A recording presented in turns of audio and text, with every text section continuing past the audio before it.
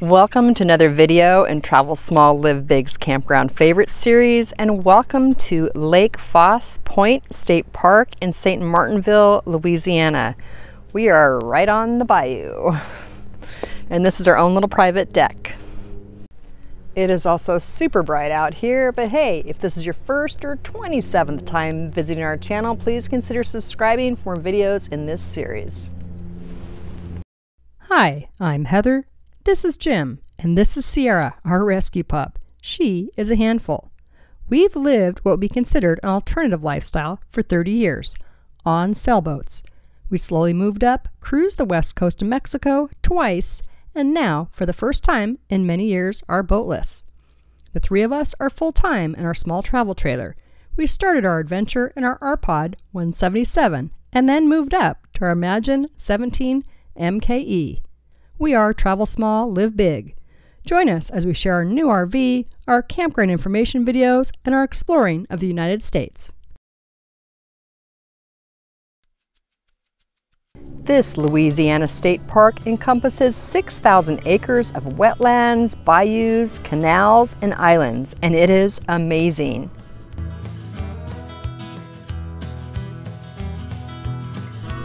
The park has a campground, cabins, two tenter sites, backpack sites, and a canoe site.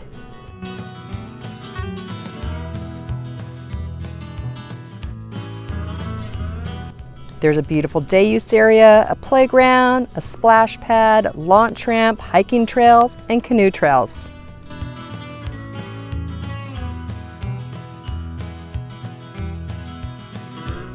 The campground offers 50 sites, I believe 12 with full hookups, many with partial hookups, and then the really cool waterfront sites.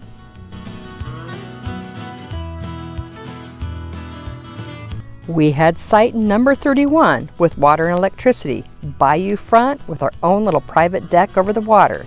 And in February of 2022, with reservation fee, tax, and our awesome geyser discount, averaged just under $15 a night for a four-night stay. A bathhouse with laundry facilities is centrally located. There are 18 very cool waterfront cabins, three of which are pet friendly.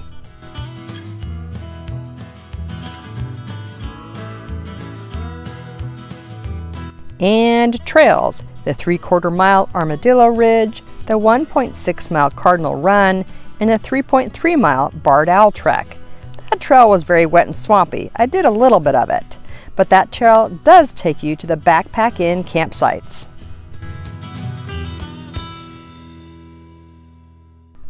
The Armadillo Trail gives great views of the marsh, wetlands, and waterways. The Cardinal Run Trail includes a scenic overlook to the west, a favorite spot for me as it was the only place I could get self-service.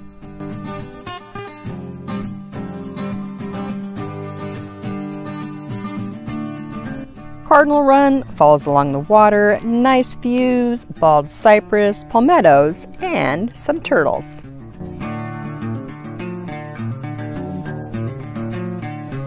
The park is also close to the town of New Iberia, a favorite of author James Lee Burke. He spent his childhood summers in the Burke home on East Main Street and uses many of the buildings and locations in his Dave Robicheaux mystery series and calls New Iberia's Main Street the most beautiful main street in the country. He was one of my mom's favorite authors and is one of Jim's favorite authors as well. So, a day trip to New Iberia and a stop at Avery Island first, home of Tabasco. We are at Avery Island in Louisiana at the Tabasco plant. They have a restaurant, a museum, a gift shop, a little tour. We have the dog with us, so we're just gonna check out the museum quickly and the store. And the thing that we both noticed the second we got out of the car was the smell of Tabasco. Very vinegary and peppery. With the dog along for the day, we skipped the museum and self-guided tour. I did do the gift shop, tasted jalapeno and then raspberry chipotle infused ice cream. Both, surprisingly, really good. We shared a cup of the raspberry chipotle, bought a couple of things, including a Tabasco dog collar for Sierra.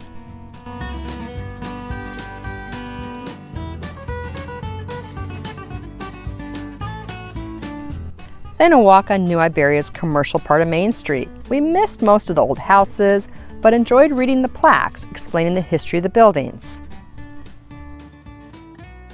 And apparently, they had recently had a Mardi Gras parade in town, as trees and stoplights had beads hanging from them, and Sierra was enjoying trying to eat candy off the sidewalks.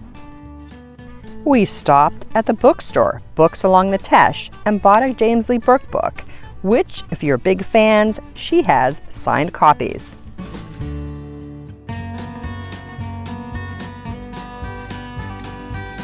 So the pros about Lake Fausse Pointe State Park and Campground, the trails, the bayous, the long campsites, our own private deck over the bayou, the birds.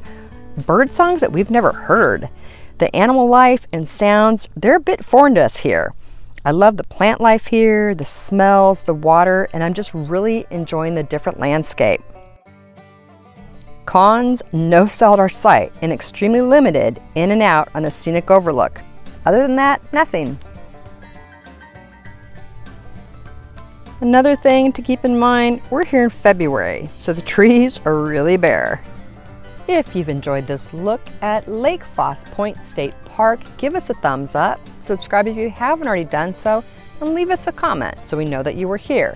Stick around for a little more of Louisiana. And as always, thanks for watching.